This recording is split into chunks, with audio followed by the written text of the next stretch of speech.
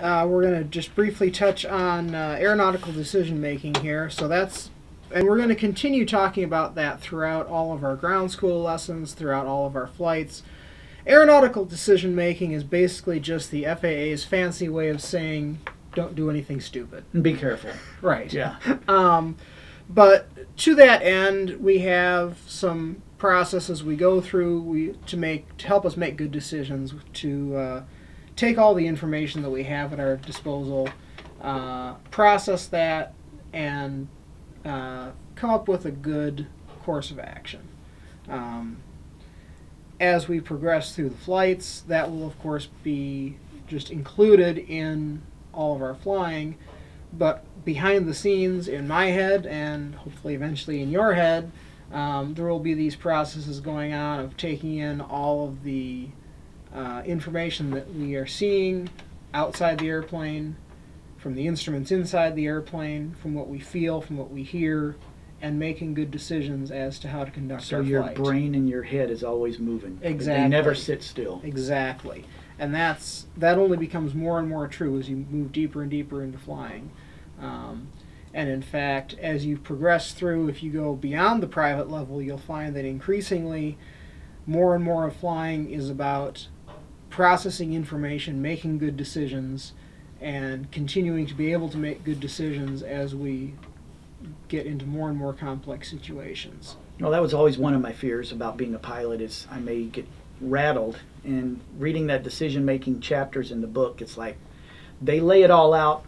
Just figure it out. You go through these processes, and, and you'll be fine. You'll cut your odds down a lot. So. Exactly, and that's all. That's what it's all about. Ultimately, is risk management. You Um, mean flying's risky? there is an inherent level of risk in anything we do. Uh, flying, driving, uh, True. walking across the street. Now, uh, based on statistics that I've heard and uh, my own personal experience, I would say that uh, flying is probably less risky than crossing the street, uh, particularly out on a busy road like we have out in front here. Yeah. But It's uh, crazy out there this time of day. uh, because any accident or safety issue in flying uh, is so widely reported on, so much in the public eye, uh, we as pilots and the FAA both work very hard to improve safety all the time. Yeah, the media um, loves to blow it up. Exactly. So, you know, the, aviation is one of the safest activities that we do uh, in modern life, and that's mostly because of how we've narrowed in on all of those risk factors and controlled them to the best. That's why becoming a pilot's not easy. There's a lot of study and a lot of work just to fly a simple plane. Right. So the a lot of the physical skills of actually flying the airplane, much like driving a car, is stuff that you just learn by doing. But the reason that we have ground school is to go through all of the thought processes, all the things that we need to consider, take into account. It's much more complicated than thinking sitting about- behind the wheel of a car. Uh, to a certain extent, it is, and as you move further and further into flying, that becomes more and more true. Yeah. So, when the FAA talks about aeronautical decision making, um, they have a a lot of acronyms, a lot of I've learned that. mnemonics, you know, ways of trying to remember how we make good decisions. So, um, obviously, we've talked about ADM, aeronautical decision making. Uh, another acronym that uh, comes up in this chapter, which comes up increasingly as you move more into professional flying, is CRM, Crew Resource Management. Um, and the analog of that for recreational flying, single pilot flying, SRM, single pilot resource management, as the FAA likes to call it nowadays. Um, so they have uh,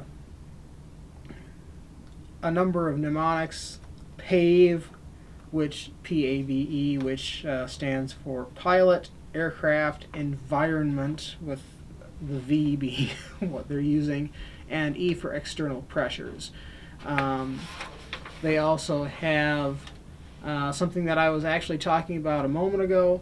Uh, they call it the 3P model perceive, process, perform. So that's what I was talking about when we take in all of that information that we see with our eyes, that we hear, that we feel through the structure of the airplane.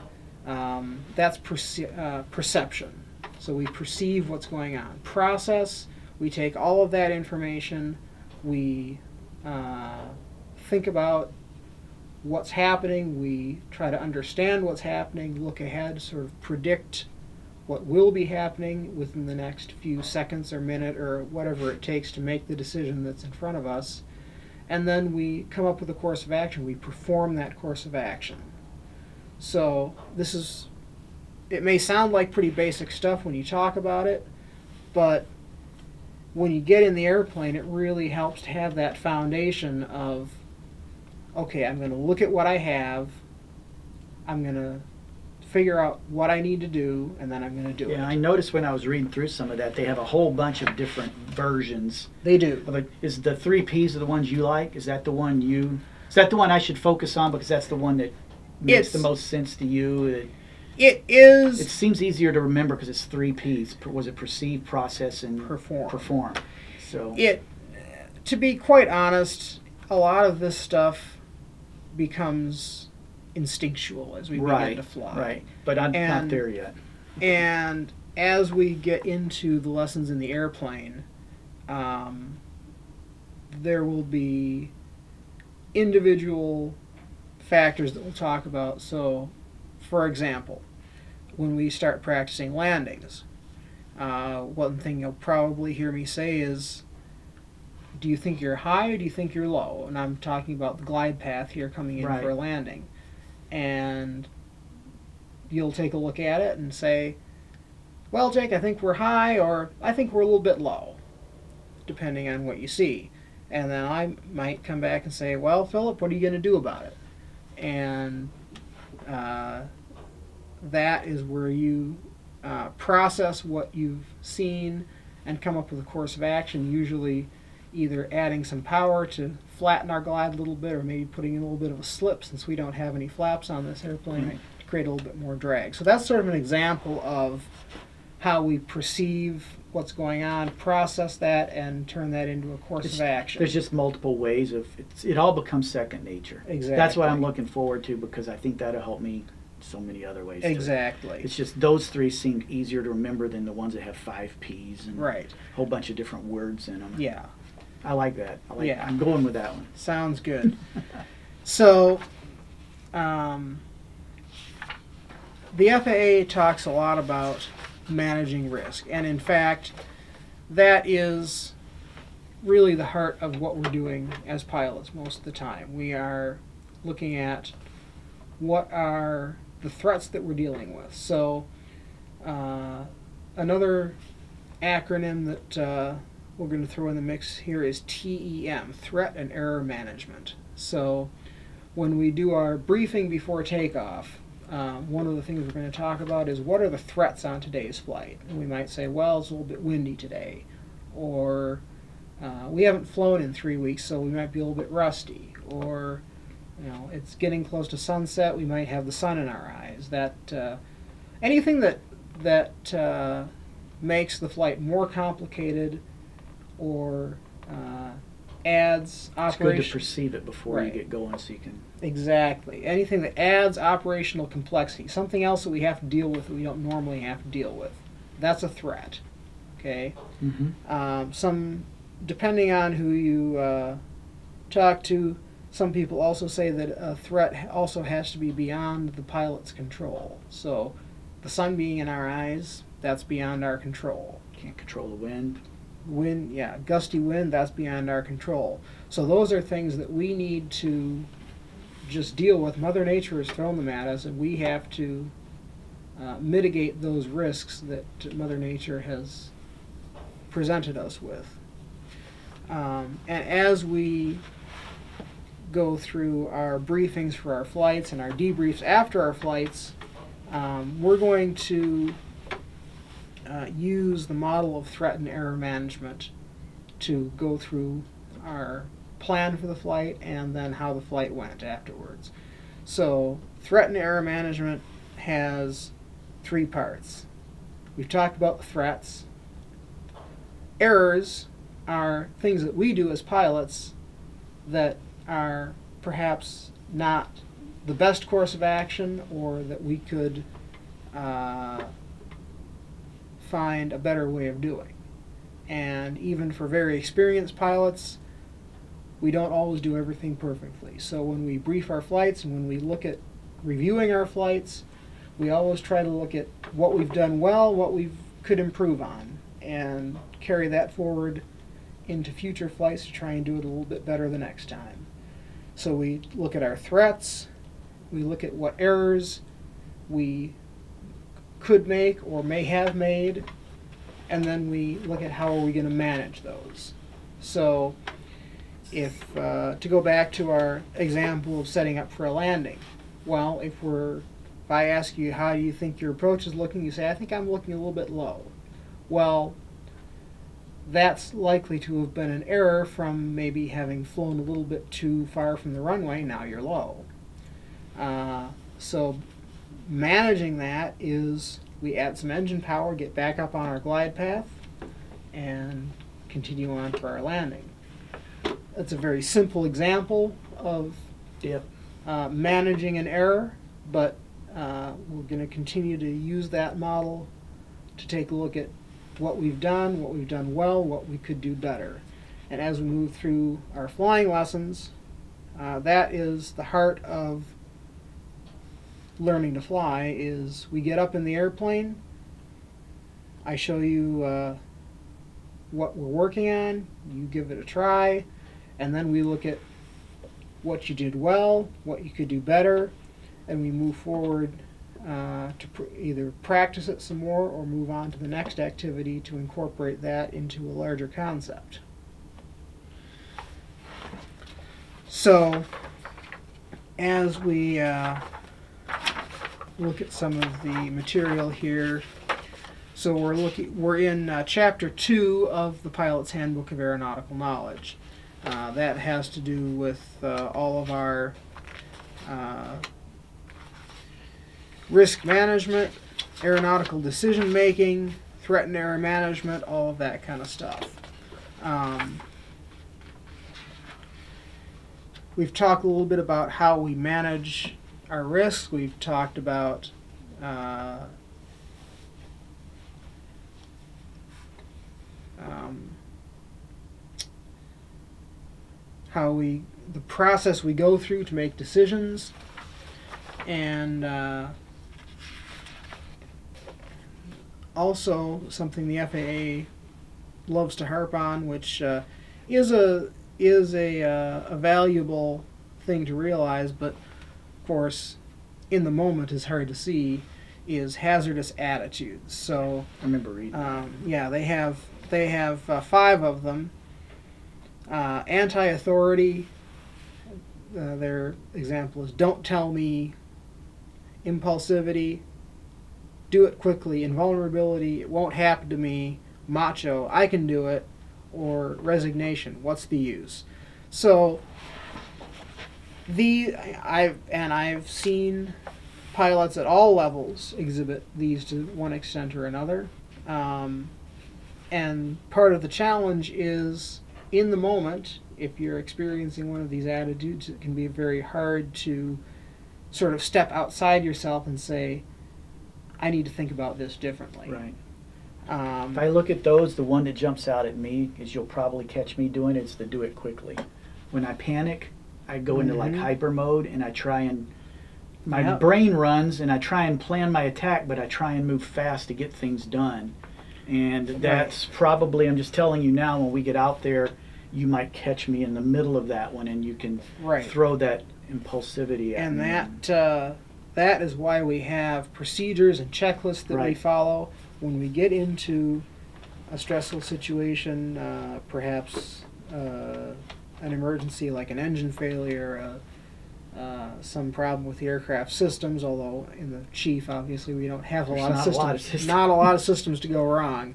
But that's why we have an emergency checklist. So, for example, when we go to practice simulated engine failures, I'll pull the throttle out to idle and we'll be gliding, and I'll have you pull out the emergency checklist and go through all of our items to uh, simulate trying to restart the engine. Of course, it's already running, so Well, the Um, Chief's gonna be hard to restart an engine. You have to hand prop. We're kinda- that thing dies, we're screwed. we're looking for a place to land. exactly. So, and that's why when we simulate an engine failure, we never do it by actually turning the engine No, off. not we, in that plane. We only uh, pull the uh, the throttle out, uh, and I may not even pull it out all the way, depending on what I'm simulating. Because actually, when you pull the throttle out all the way, uh, that propeller basically turns into an air brake and actually creates drag. Yeah. So slows you down. uh, there's a concept called zero thrust, which is the setting where you're not, the propeller is not creating thrust, but it's not creating drag yet either. But that's in the future. So um, when we get into a hazardous attitude, uh, sometimes it takes someone else to snap us out of it. Hopefully, by going through some of these processes that we have in uh, process of aeronautical decision making, we can help to mitigate it ourselves.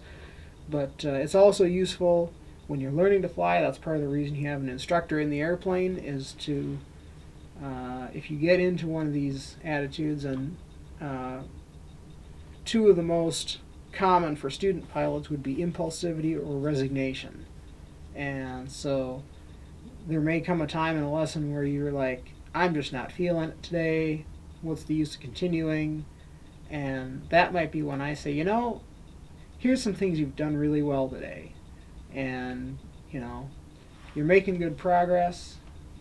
And, you know, I won't push you to, you know, keep flying on a day when it's just, you know, it's just not the right day. But at the same time, I probably will push you just enough to say, you know, Rethink.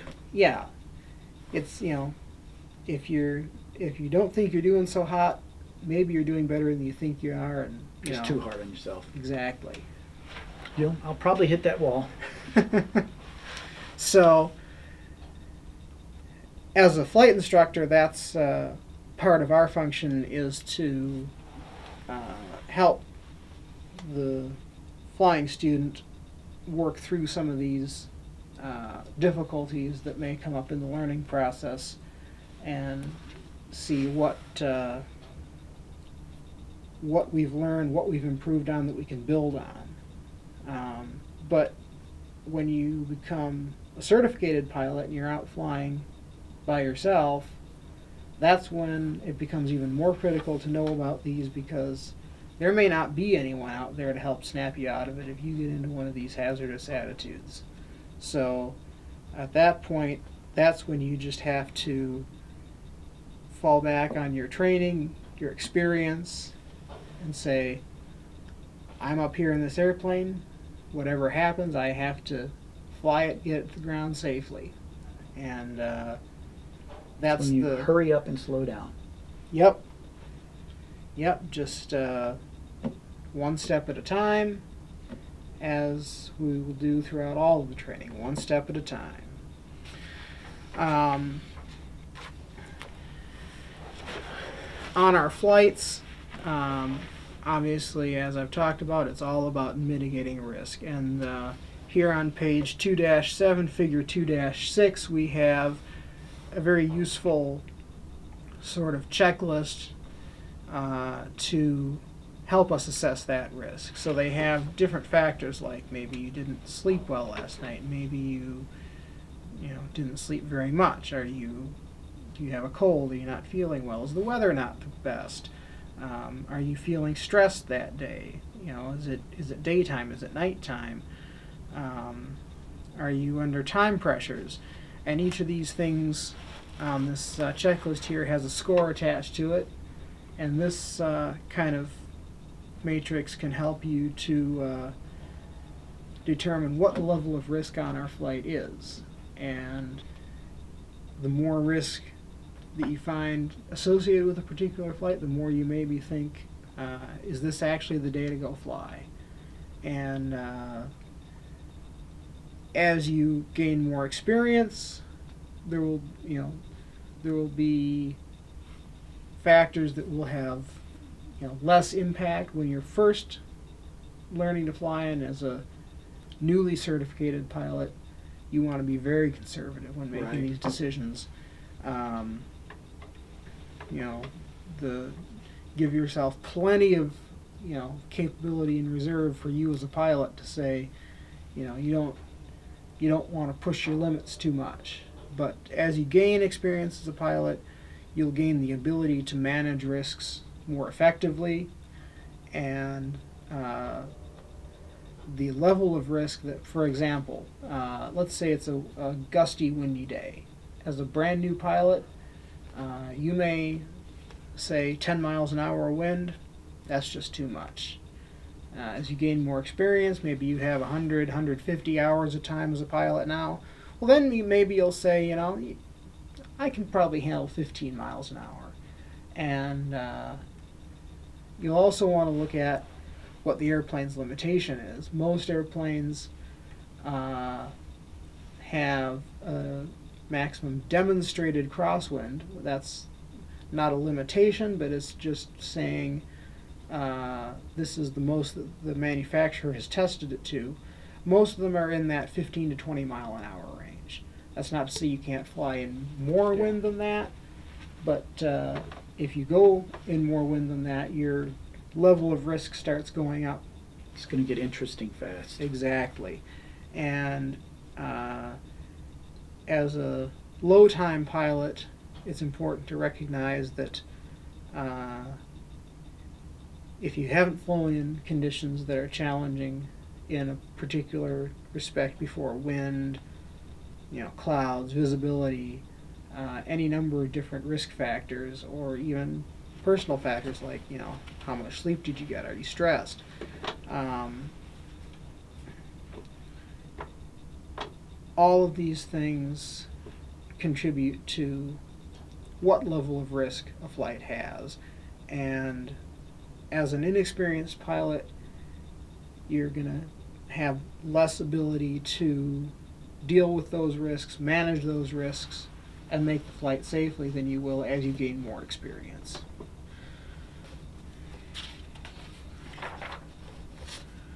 Um, so that's part of where you come into this uh, mnemonic the, the FAA has PAVE. So the pilot, um, that is uh, how are you feeling? Are you up to this flight? And within that, they have another one, I'm safe, which is how are you feeling as a pilot? So, illness, are you sick? Medication, are you taking any medications that might impair your ability as a pilot? Stress, are you under stress from work, personal life? You know, uh, is it just not a good day? Did you get stuck in a traffic jam that, you know, made you impatient? Any number of those stressors. Uh, alcohol, obviously, uh, as pilots, uh, we're not allowed to drink within eight hours before uh, flying an airplane. Uh, professional pilots, most of the uh, guidance is 12 hours, depending on what the limitation is at a particular employer, but usually it's 12. So that's something to keep in mind. Fatigue, uh, obviously, are you well rested? Has it been a long day? What time of day is it? Is it near a, uh what they call window of circadian low? So you know how that you get that after lunch feeling around Yeah, two o'clock. two o'clock in the afternoon. For me, it's two to two thirty. Doesn't Yep. matter how rested I am. I hit a wall. Exactly. And that's, you know, may not be the best time to go flying if you're just not feeling it that day. It's, you know, maybe taking, you know, 30 minute nap in your car before you go pull the airplane out. Yep. You know. And uh, then the uh, last aspect of the I'm safe mnemonic is uh, emotion. Are you uh, are you in a fit emotional state to fly? Are you angry? You know, uh, sad? Are you stressed? You know, all these things have to be taken into account, and there are some days where you're just going to say, you know, this isn't the day to go Yeah. up in the airplane, and that's okay. Better safe than sorry. Exactly. So those are all the things that figure into are we as a pilot ready to undertake the flight? Uh, the next element is the aircraft. Um, is the uh, is the aircraft in condition to fly? Is it you know airworthy? Is it you know, you know, we sh- you know have, we've done our pre-flight inspection, make sure it's not damaged. There's no uh, no issues with the aircraft that are going to increase those risk factors. Um, is the aircraft equipped for the flight we want to do? You know, if it's getting towards dusk. Chief doesn't have lights, so that's a consideration. And, you know, we have to think about we have to be back before sunset on all our flights in the Mhm. chief. Um, do we have enough fuel? Do we have the performance to get off the runways that we need to get off of? Um, all of these things figure into making sure that our aircraft is ready. The environment, uh, weather, are we, uh, is this a good uh, weather day to go flying? Do we have the visibility? Do we have the ceilings? Uh, when we talk about ceiling, we're talking about how high the clouds are above the Bottom ground. of the clouds. Bottom of the clouds. Um, is the wind too strong? All these things that figure into the weather for flying, and is this a good day to go? Um, then we have, uh, obviously, besides the weather, we have, you know, around here we don't have much terrain, but uh, if you go fly out west, obviously you got Mountains. So that's something to consider. Are you familiar with the area? You know, if you're out west for some reason flying out there, have you received uh, instruction in flying in the mountains? Because that's a whole other It's a whole different. it's a whole other thing that you have to be familiar with. Uh, the airport. Uh, how long is the runway? How wide is the runway? Is the runway wet? Is the runway slippery? All these things that can uh, affect taking off, and landing, taxiing on the ground. Uh, are there any notices to airmen? NOTAMs. That's another acronym, by the way. That one I knew. That one I've heard enough in my drone days from flying drones. We've talked Yep. about NOTAMs a lot. Yep. So that one I'm aware of. So, you know, are there taxiways that are closed? Are there runways that are closed? Are there, you know, construction cranes near the airport that may not have lights on them? Things like that. Um, airspace, uh, obviously, the big one is TFRs, temporary flight restrictions. And those are issued, uh, in- Military training, yep, dignitaries flying through. Right. You know, officials, government officials often have uh, TFRs around them. They also put up TFRs around things like uh, wildfires, firefighting that makes operations, sense. anything where either the pilot would be in danger from getting close to it, like a wildfire, or where uh, something else might be in danger from the pilot getting close, like the uh, uh, government officials. So that's something that we always want to check Right. When we get our weather briefing, either through calling on the phone or through uh, most of that stuff we can do on our cell phones nowadays. But uh, one way or the other, we want to make sure that all the uh, airspace is uh, what we is uh, open for the kind of flying that we need to do. Uh, obviously, you talk about is it nighttime? Um, the chief can't fly at night, so we're probably not going to be running into this much. But uh, there are a whole other set of factors that come into play flying at night, like you need more fuel reserves. Uh, you need to make sure all the lights are working. Uh, you can get optical illusions at night. Yep. I've heard about those. Um, The when we are looking for airports or other airplanes, um, it's harder to see those at night sometimes. So we need to uh, make sure we're aware of all those uh, threats that may come up associated with flying at night if we're doing that. Um, and then, so that's all falls under the category of environment for that PAVE checklist. Then finally, E, external pressures. So this is where uh, private pilots and uh, inexperienced pilots can get themselves into a lot of trouble. He get, he's, you know, say, you know, to a friend of yours, I'm going to meet you, you know, in your town at two o'clock. And you feel well, like you have to get there. you there. feel like you have to get there. Not only do you have to get there, you feel like you have to be there right at two. And uh, sometimes you just have to say, you know what? I need a little more time. I need to add some more fuel. I need to check something out on the airplane. Uh, I need to check the weather again. Any number of things that take more time in preparing for the flight. And particularly as private pilots or inexperienced pilots, we need to be aware of what these pressures are and know that uh, we still have to do our due diligence in safety. Uh, preparing for the flight, remaining safe, uh, all those things. So, some of the factors that are pointed out in the Pilot's Handbook of Aeronautical Knowledge is someone waiting for us at the end, as I said.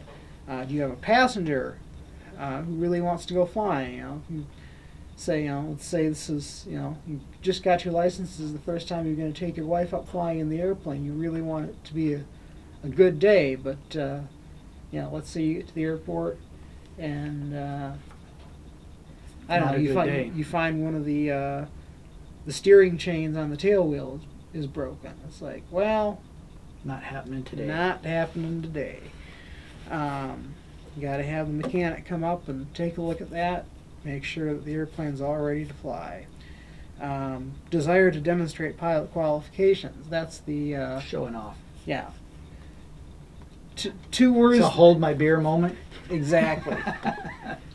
it's never good. That's uh, two words that you uh, almost never want to utter as a pilot. Is watch this. yeah. In the RC world, we say, hold my beer. Yeah. Watch this, hold my beer. It's about to get epic. Uh, another factor which comes up a lot in cross country flying is uh, get there itis, get home itis, they call it. So it's, you know, let's say you've been out flying all day, maybe you've gone to a flying breakfast, you've been out flying with some buddies, and, uh, you know, you got something going on at home, you gotta, you know, rake the leaves or whatever at home. And it's like, I just, I gotta get home. But let's say there's weather moving in. No, and you don't. Sometimes you just have to say, you know what? I'm going to sit and wait this out for an hour or two. Make sure the conditions are good. Or sometimes maybe you tie the airplane down, you go over to one of your buddies and say, uh, hey, Joe, can you give me a ride home today? Yeah. You know, it's just sometimes if uh, if the conditions are not uh, not there for what you need to fly as a pilot of your experience level, you just need to say, I gotta wait, slow down, or maybe even not go today. Yep. And uh,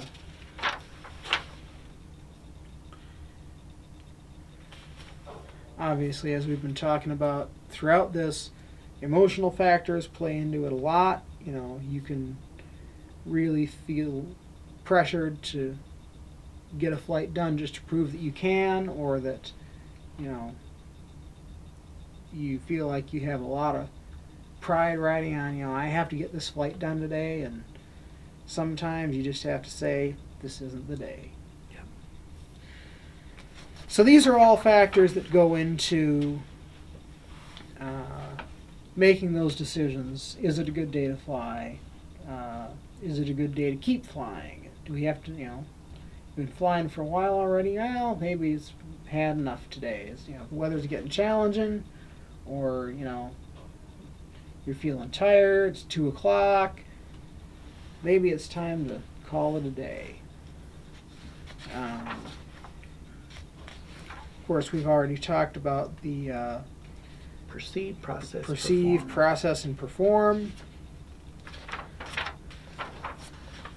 I've got a whole bunch of different uh, examples of all these ways that we can go through making decisions here, and uh, from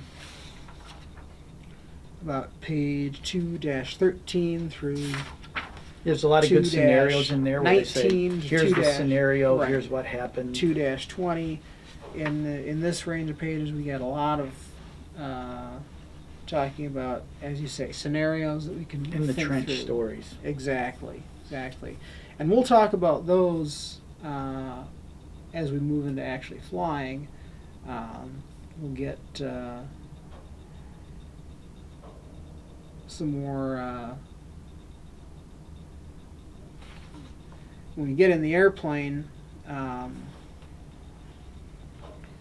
we'll have a better idea of how we can incorporate all of this into. Uh, It'll real- all make more real sense when we're world- doing it. Right, real world scenarios. And that's uh, a big thing that uh, the FAA is into right now, which I'm wholeheartedly in support of, as they call it scenario based training. So rather than just talking about abstract concepts, we go out to the airport and we say, well, here's the here's the plan for the flight, or here's a scenario that we want to think through. You know, here's how we're going to set it up. Here's the things we need to think about, and what decision would you make based on the information that we have. Again, perceive, process, perform.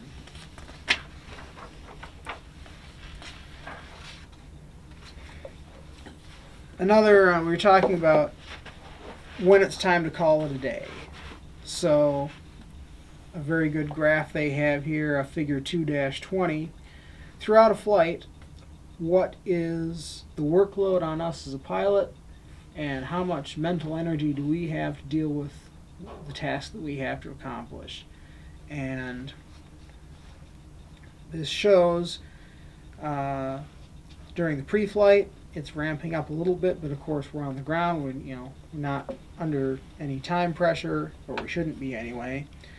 Uh, so it's just gradually ramping up. Takeoff, we have a lot of stuff going on. We have all our pre-flight checks to run through. We have taxiing out to the runway, possibly air traffic control to deal with. Um, so that uh, ramps up our workload a lot. After takeoff, we get up to cruise flight. If we're just doing cross country flight or flying out to breakfast somewhere or something, not much going on. So the workload goes down a little bit.